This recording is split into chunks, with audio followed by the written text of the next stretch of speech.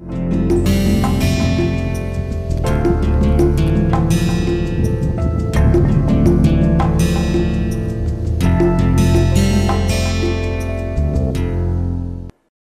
us start this lecture with a thought process. What we do generally, uh, although we spend our entire life for seeking external comfort by acquiring gadgets, particularly in modern days, but internal comfort dictates the extent of external comfort. Question arises: How can we achieve the internal comfort? And uh, if you look at uh, previous lecture, we are basically discussing about how to get you know comfort uh, and also the avoid the vagaries of the weather conditions right and um, if you look at we started with uh, basic laws of how to handle the non reacting mixtures right? Like uh, dalton's law partial pressure amagat's law. And then we moved into uh, looking at only the how to handle or analyze the moist air because that is the thing what you know dictates the comfort level uh, for a person and uh, then that is the basis of the air conditioning right? Uh, so if you recall that we define a term which is known as specific humidity right? Which is nothing but the ratio of the amount of water vapor and the air amount of uh, you know mass of air in a uh, water or um, vapor uh, air mixture or wet mixture. We call it as also moist air wet air. So um, um, and that we had expressed in terms of also the partial pressure, if you remember that specific humidity is equal to 0.622 PWS divided by PA? That is the thing what we uh, looked at it. Now question arises how much you know amount of moisture the air can contain, right? and that will be dependent on the temperature, right? Yes or no? So we'll see as we go along, it will be dependent on temperature. You might have experience, right? If temperature is very high and it is humid, you are feeling very uncomfortable, particularly in this season nowadays where the rain is knocking at the, our door and then you know like we get and temperature also is quite high and if it is, you know, you can bear that temperature, let's say 40 degrees Celsius. If the moisture is not there, you know, it is dry, it is not that uncomfortable. You might have seen. So now we need to evaluate basically how much moisture, you know, air can, uh, um, you know, can carry or um, at a particular temperature. And in other words, you can say what is the capacity of the air to hold the water vapor, you know, that way. So for that we will be defining a term which we call basically relative humidity. Because there is a capacity of air to hold some amount of water. Beyond that it can't, right? And that will be related to the saturation, you know, point. So therefore, we are defining a term which is relative humidity. It is the ratio of amount of water vapor in the mixture to the amount of water vapor in the saturated mixture at a particular temperature and pressure, right. So if you look at saturated uh, what you call water vapor, you know, what it could you can get from the steam table, saturated steam temperature table you can use and you can get what will be the partial you know like uh, pressure of that and also you know from that you can find it out what will be the amount of moisture you know because if the temperature you know you know the pressure you can use as the ideal gas you can find it out. So very easily.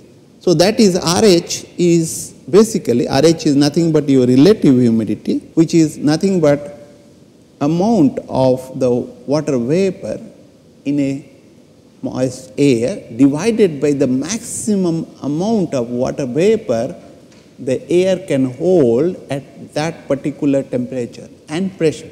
So, you know and by ideal gas law I can write down m dot Wg is nothing but Pwg in the volume of course the molecular weight of water divided by Ru, Ru is the universal gas constant T right T is the temperature. So, that is from the ideal gas law and similarly the amount of maximum water vapor a moist air can hold at a particular temperature and pressure can be written at PWS V molecular weight of water divided by RUT. So, if you look at all will be cancelled out you know this will be cancelled out this will be cancelled out and this also will be cancelled out. What remains is the you know is the partial pressure of water vapor in a moist air divided by the saturated water vapor partial pressure, right. Saturated means beyond that it cannot and that uh, sometimes we call it as also phi. I mean both the symbol are same relative humidity and phi, right. So, it as I told earlier uh, basically it is dependent only on the two uh, pressure partial pressure. One is the partial pressure of the water vapor right? And other is the partial pressure of water right? At saturated condition right? So in the uh, of the dry air mixture.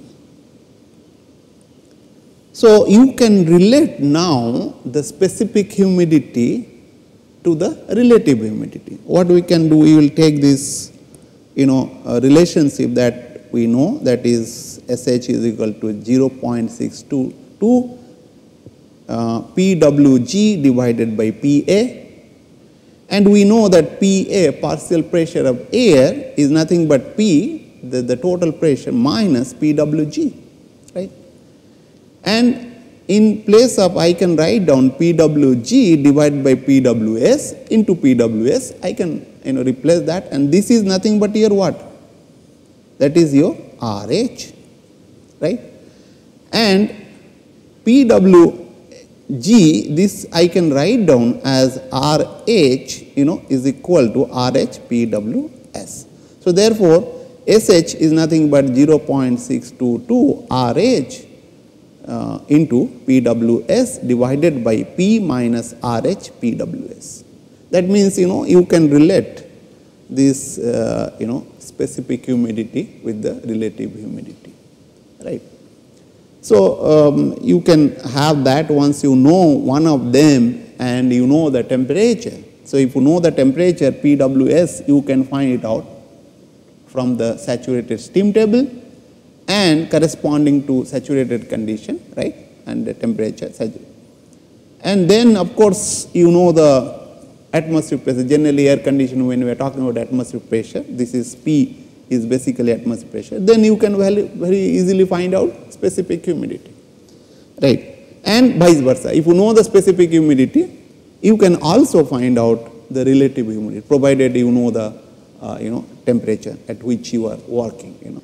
So uh, in the similar fashion, I can uh, write down an expression RH is uh, equal to you know SH into P divided by 0.622 plus SH uh, hold the bracket PWS, right. So that is from this relation, just I have rewritten, you know, that's all, nothing else more than that, okay. So um, now we need to understand the dew point temperature, right. So what do you mean by dew? You might have observed, right, particularly in the summer season, if there is a moisture in the air, right? What happens particularly in the early morning or in the late night, the temperature will be dropping down. If it drops down, what happens to the moisture? You might have observed, Baba, like in your day to day life, right? You have not seen the grass is having lot of water, it contains water, you know, in the early morning. Of course, you people are not getting up early morning, not going for a walk or a look at the beauty of the mother nature.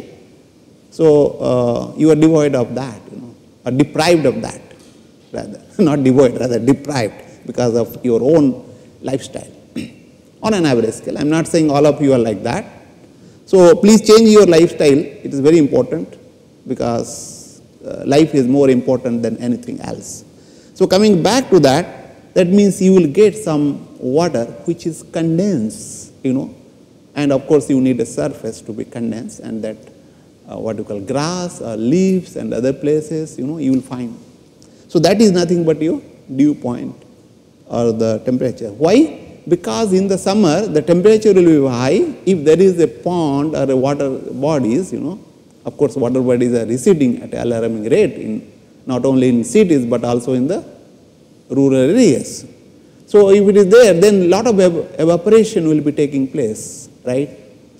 Okay.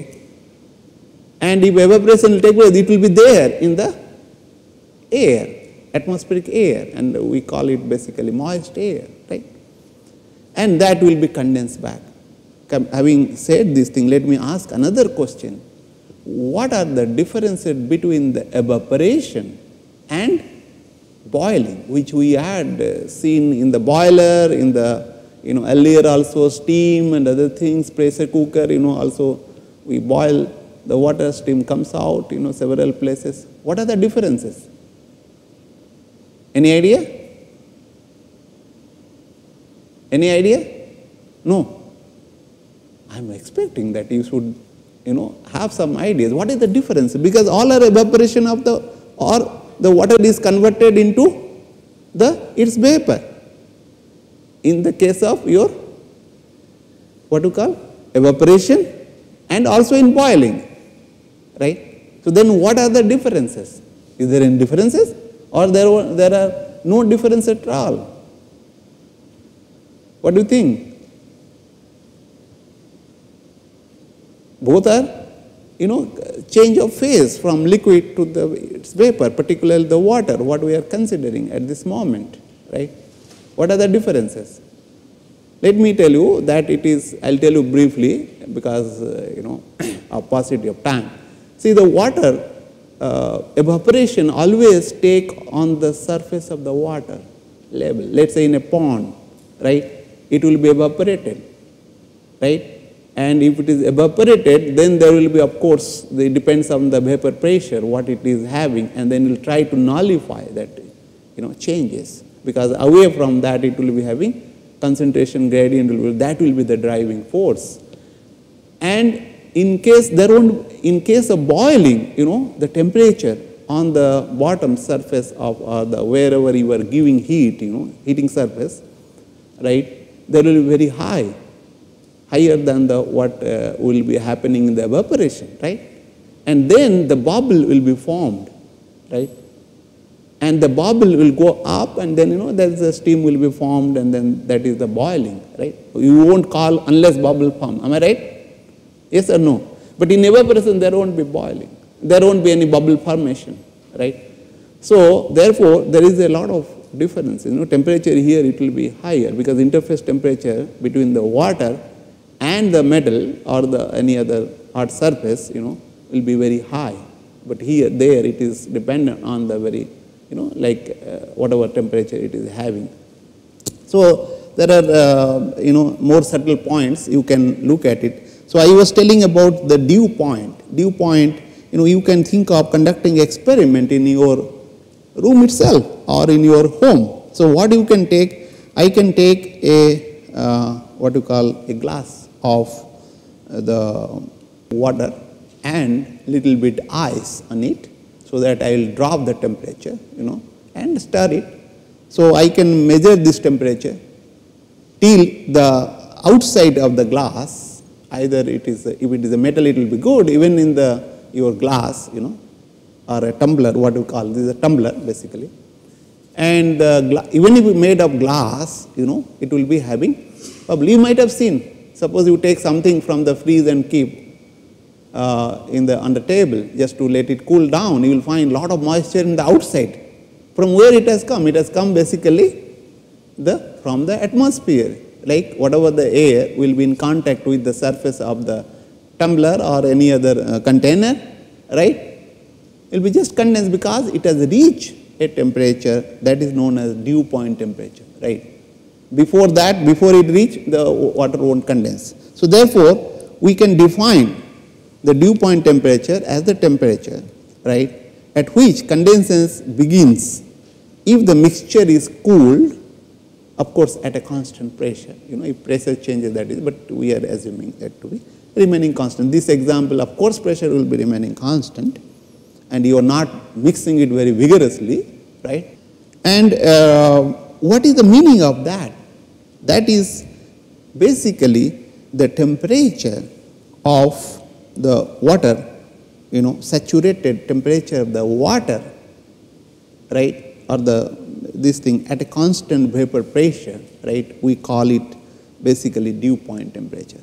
If you look at in this uh, TS diagram, this two phase, you know, like process, you are here somewhere T1 and as you, you know, cool it, so that you will be moving towards that, temperature will be down. At this point, what will happen? This is what you call vapor. Uh, this is your uh, what you call the saturated vapor line. This is saturated vapor line, right? Saturated vapor line. And at this point, it will start condensing, right? After that little bit, you know, this thing, it will be start condensing. That is the point at which the vapor will start formed, right? No, sorry, the, it will be only vapor, but it's a point at which the vapor will be started condensing, right? So that point, we call it as a dew point temperature. So we look at now the adiabatic saturation process where, you know, if it is saturated and no heat being transferred, we call it as a adiabatic saturation point so let us consider a, that there is a moist air which is entering into this adiabatic uh, saturator, right? That means no heat is going out here, you know, zero anywhere, right? And it is having certain temperature, right? And of course, this is the moist air, it will be containing certain amount of air and also it will be some kind of vapor. It is having some specific humidity, let us say station 1, so therefore I am giving SH1 and relative humidity. And then when you will come in contact with this liquid water, what will happen? There will be some vapor, water vapor will be going, you know, like this thing, something water vapor will be, right, carried over by this air and in such a way that it will be long enough, right, such that it will be giving you the point here that uh, it will be saturated almost or saturated. Saturated means it cannot take more than amount of moisture at the temperature. Of course, there will be some drop in temperature, right? Yes or no? Because it's taking carrying uh, evaporation, therefore there will be some, you know, heat of vaporization has to be given and that will take care. So therefore temperature will be dropped down. Of course the liquid level will be coming down. We will uh, give some amount of liquid here such that this level remains same, right? And what happens to the relative humidity? What happens to the specific humidity at the uh, exit of this adiabatic saturator? What will happen?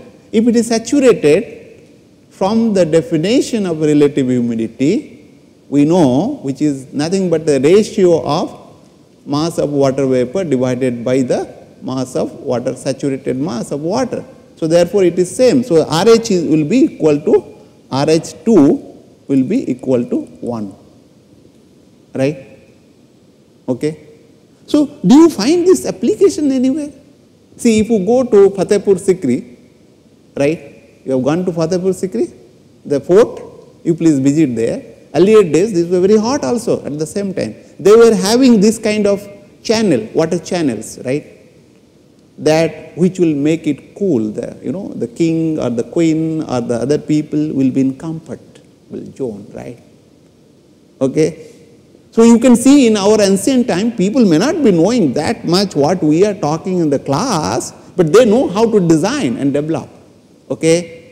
It is not only that, you can go to earlier fort, several fort, whatever we are having, you will find lot of science and technology there. So let us now look at that how to analyze it.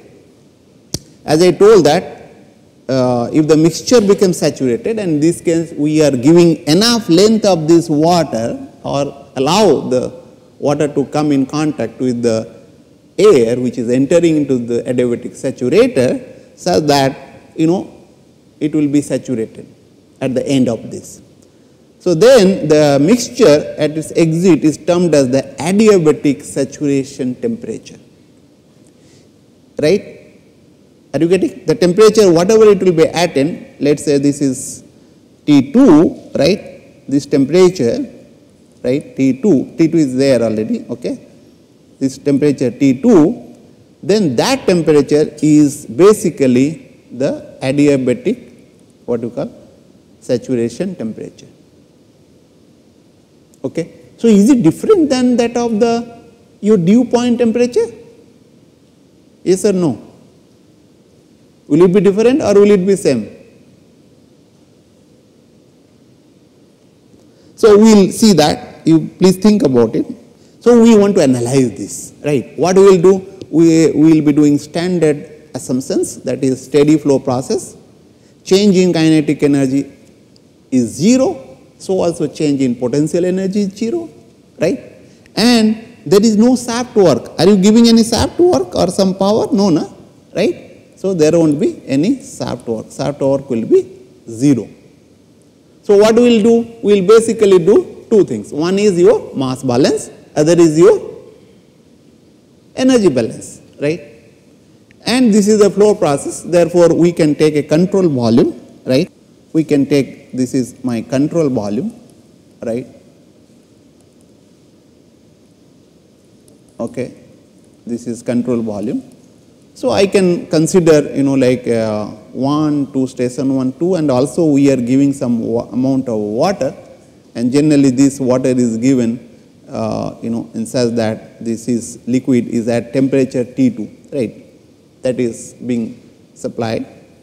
And uh, such that it will be the label will be maintained. Otherwise analysis will be difficult. And also uh, then it won't be very effective you know like because water level will go then water air has to come in and take it you know it will be difficult. So and uh, you know why this water has to be given? Because it will be evaporated.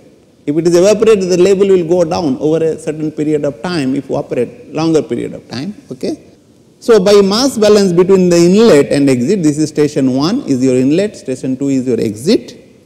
What we will do? We will basically look at this mass of air at station 1 is equal to amount of air that is the mass flow rate of air at station 2 is equal to mass flow rate of air because nothing more is added. There is no addition of air in this you know uh, through the this port at the station 3, right? So therefore, that is not. And whereas for the when we do the water balance, right, what is that? Mass flow rate of water at station 1 plus mass flow rate of water at station 3 because you are giving some water is equal to mass flow rate of water which is going out of this adiabatic saturator. Make sense? Right? This is just a mass balance, right? So, we will uh, similarly do the energy balance and that is summation of the enthalpy is equal to summation of the enthalpy at the exit. You know, this is the inlet, you know left hand side is inlet and right hand side is your exit.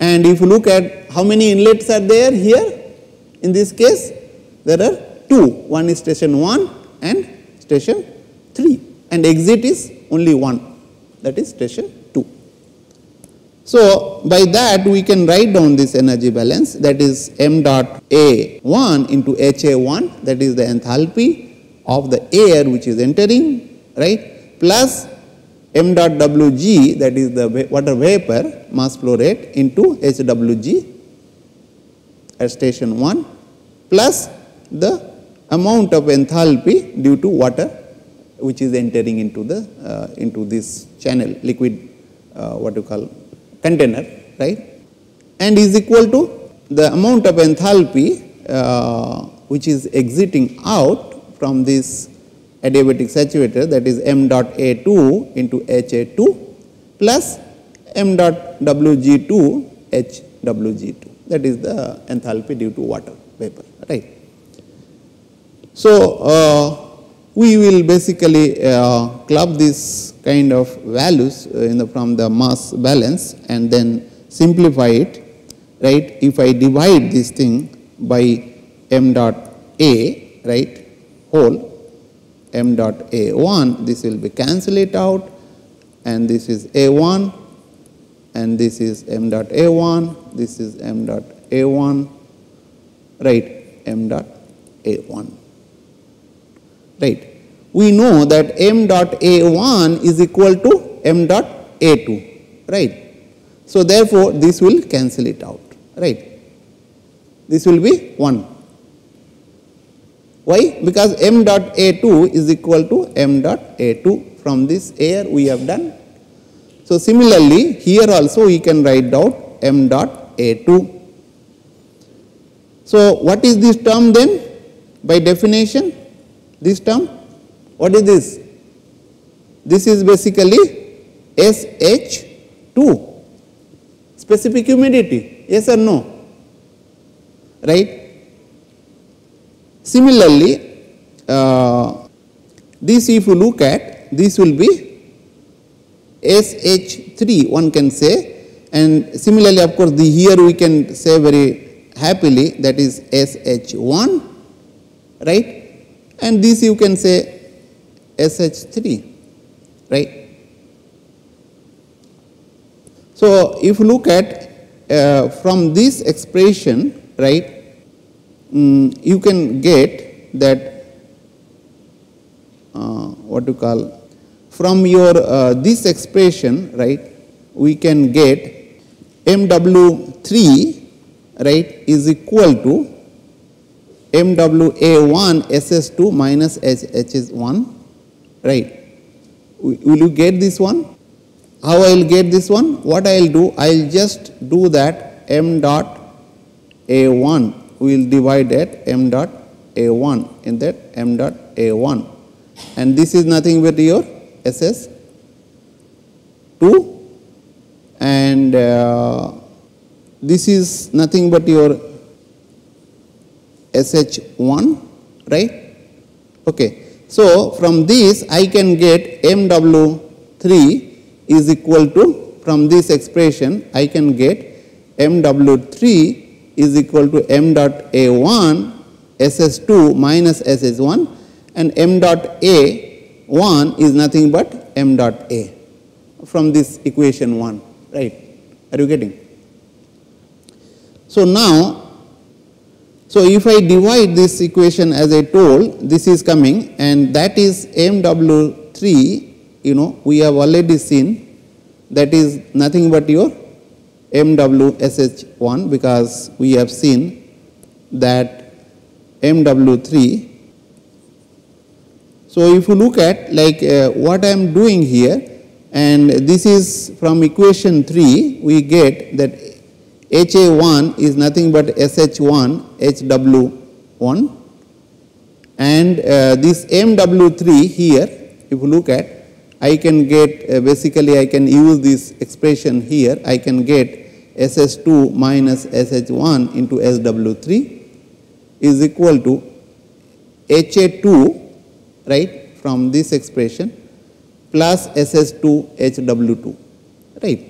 And if you simplify this thing I can get SH1 is equal to HA2 minus HA1 plus because I will take this this side right and SS2 I can uh, take to this side right. So, SS2 SW2 um, oh, sorry, you can take to this side basically, to this side SS2 into SW2 minus SW3. Okay, uh, what I would basically what you will do, you can uh, take this uh, what you call SS2 into one side and then SH uh, this one uh, and uh, then you can SH1 you can take to one side and then you can get this relationship that is specific humidity is equal to HA2 minus HA1 into the SS2 in the bracket SW2 minus SW3 divided by SW1 minus SW3. So, this is the expression what you can get for the specific humidity at the station 1. So, if you look at if I know these values right HA2 and HA1 and uh, if we can find out SS2 because we know the relative humidity right and we can find out this HAW2 and SW3 and SW1, SW3 then we can very easily evaluate the SH1. So, uh, because if you look at SS2 we know already that 0.62 PW2 divided by P2 minus PWG2 and uh, if you look at that uh, this uh, SW3 what we can say that it is corresponding to the what values? That is nothing but your HW F 2 right? Because that is the thing what we are saying. At the same temperature it will be saturated liquid. So, therefore, at uh, temperature T2. So, if you can look at this portion will be nothing but here. If you look at H F G 2 at T2 right? And uh, this way similar way I can replace this thing here with the HWF2 right? And I can also write down this thing because if you look at this is about the air and I can say that Cp is remaining constant it is not changing with the change in temperature. So, therefore, I can write down that uh, what you call SH1 is equal to Cp T2 minus T1 plus SS2 that I was telling HFG2 divided by the HW1 minus SW2 right. So, if you look at if I know these Cp values right? And uh, that is for a you know air you can take 1.005 kilojoule per kg Kelvin. And T2 and T1 is uh, if you, if you know that temperature, right. So, then you can find it out easily. And SS2 you can find out very easily provided you know the temperature, right. And HFG already you can get from the steam table. And these all these values you can get. And then we can calculate very easily. So, if you look at that as I was telling that this is the you know uh, dew point temperature where you know temperature is uh, changing and there also that thing. But whereas the adiabatic saturation temperature take this path, it will be different temperature because the heat is you know being not going out. Therefore, there will be little higher temperature as compared to the dew point temperature, right. It is not going out by that. So, uh, what we will do, we will see how we can uh, basically uh, apply these you know equations and finding out the various properties.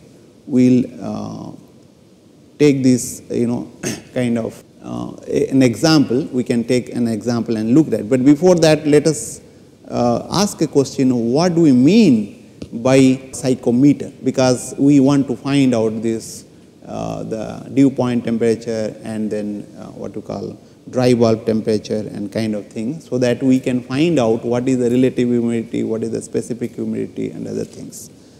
So, um, and if you recall that we had discussed about wet bulb temperature that is the temperature which will give you basically uh, corresponding to the moist air, right? And if you, uh, we can have a device for this, like we can think of using, you know, like air here, right?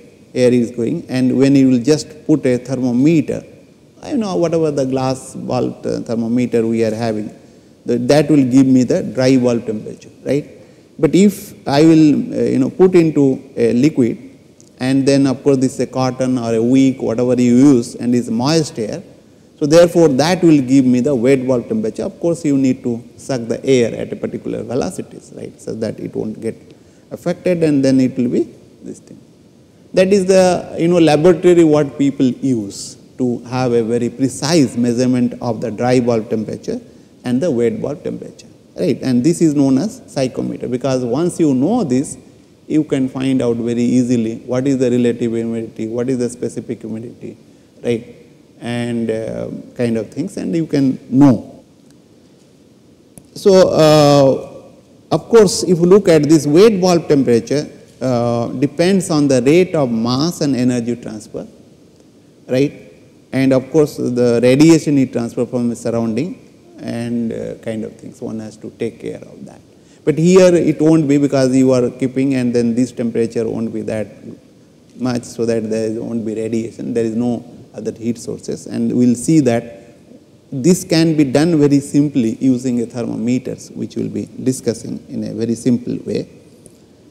And uh, on the other hand if you compare this dew point temperature with the or what we call you know this thing saturation adiabatic temperature uh, is dependent on the equilibrium between the two phases thus is a property of the system right okay I mean Therefore, the saturation adiabatic temperature is basically the property of the temperature and which will be uh, closer to the uh, what you call um, dew point temperature, right?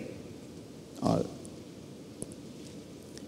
and for a air uh, water mixture of a PA, the wet bulb temperature is quite closer to adiabatic saturation temperature, right? Wet bulb temperature is uh, closer.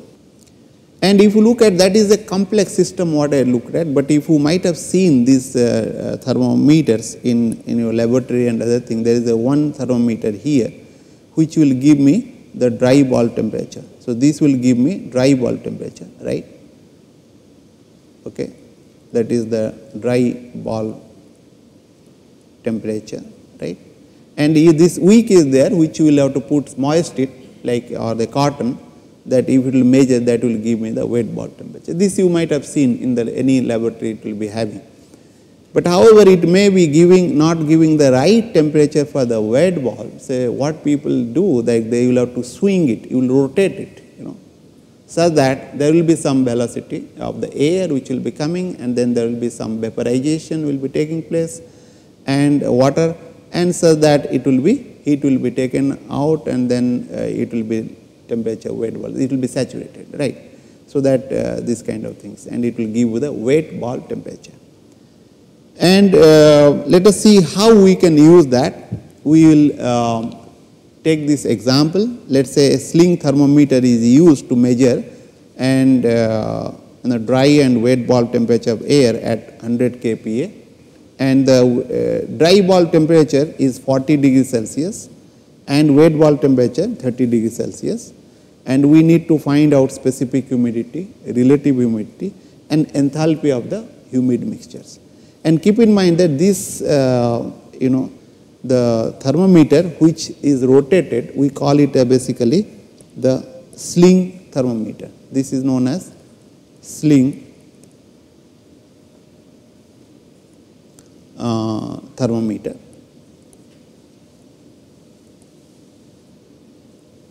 right and this is being used to measure that. Now how to go about this thing?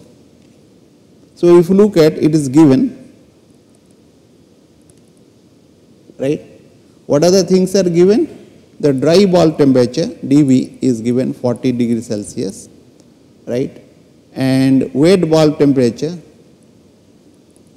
is given as 30 degrees Celsius right? And of course the pressure is given 100 kilopascal. And to find we will have to find out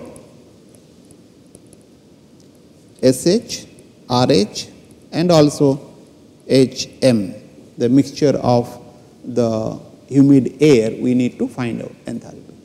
So, how to go about? You can say that as I told that uh, this is the sling thermometer, but we can assume that you know is a basically saturated adiabatic mixtures, right, kind of things. So, uh, if we do that and what is given here, if you look at this T1 is equal to 40 degree Celsius, right, and the T2 is equal to 30 degree Celsius. It is given, right. And we can find out enthalpy at the basically SH1, we need to find out what is the moist air is entering into saturated uh, adiabatic saturator, right. So, what we will have to find out basically that uh, by considering adiabatic saturator right at temperature is equal to 30 degree right? And we can find out the SH1 we have already seen SH1 is equal to Cp T2 minus T1 plus SH2 HFG2 divided by the HW1 minus HF2, right. So, if you look at what is T2, T2 is given, this is given, right, 30 degree Celsius, T1 is given, Cp of course you can take as air Cp that is 1.005 kilojoule per kg Kelvin. And we need to find out SS2, this is not known, this is not known, right, we need to find out. And HFG2 we will have to find out, we will have to find out SW1 and HF2, all those things we need to find out. But how to go about them? How we will get SS2, let us say? Because we know that RH2 is equal to 1, right? Okay? That means it is saturated condition at station 2 right RH2 is equal to 1. That means the PWG2 is equal to PWS2 that is saturated condition. Now, if I know these things right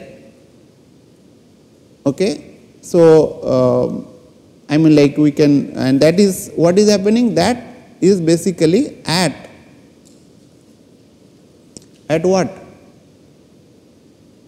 at 30 degree celsius right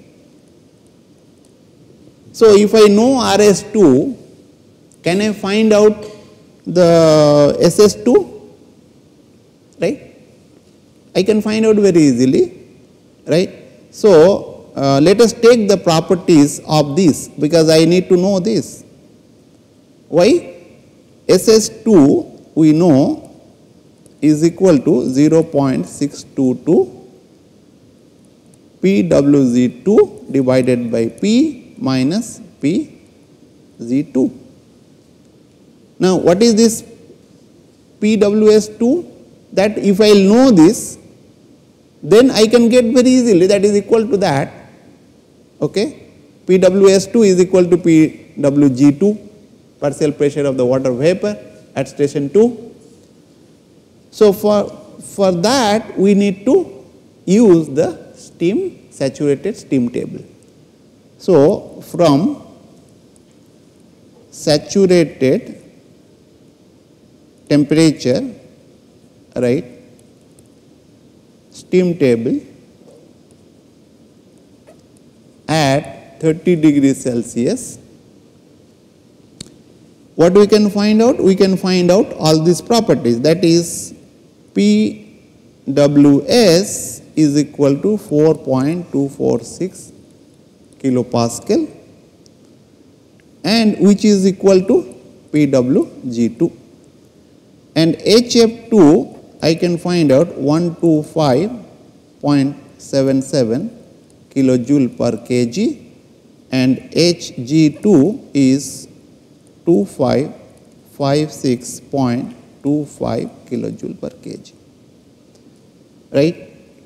And um, let us also look at the uh, from the you know saturated steam table at 40 degree Celsius right PWS is equal to that is of course S1 is equal to 7.384 kilopascal and Hg1 is 2574.26 kilojoule per kg right.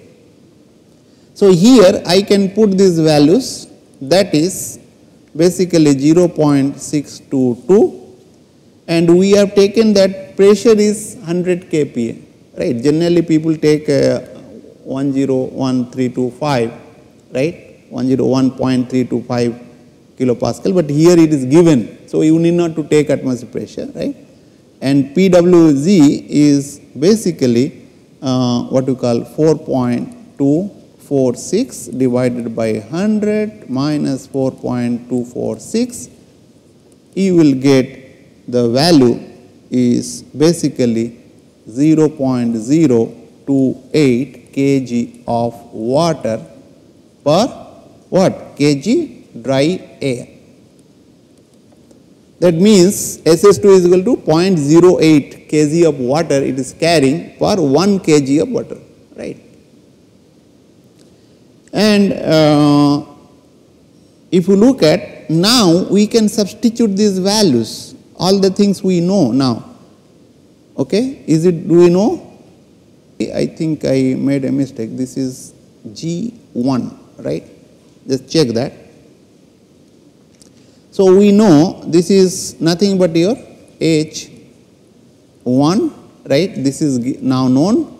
HF2 is known right and this HFG is nothing but what? HFG2 is nothing but here what you call 2556 you know HF, Hg2 minus HF2 okay let me write it down. So I can evaluate SH1 is equal to Cp Cp is 1.005 T2 is equal 30 degree minus 40 plus HS2 is 0.028 into HFG basically Hg2 2556.25 minus 125.77 divided by HWG1 that is 2574.26 minus 12577. So, if you do this you will get basically 0.023 kg of water per dry air. And once we know this SS1, I can find out what is RH1, right? Can I find it out? Very easily, what we will do? We know SH1 is nothing but 0.622 of course, you can use the other formula, but uh, we can use the, this is simpler one Z1 minus P minus WG1 and from this because we know this value this is SH1 0.023 then I can get PWZ1 is equal to basically 3.67 kilopascal. So, RH1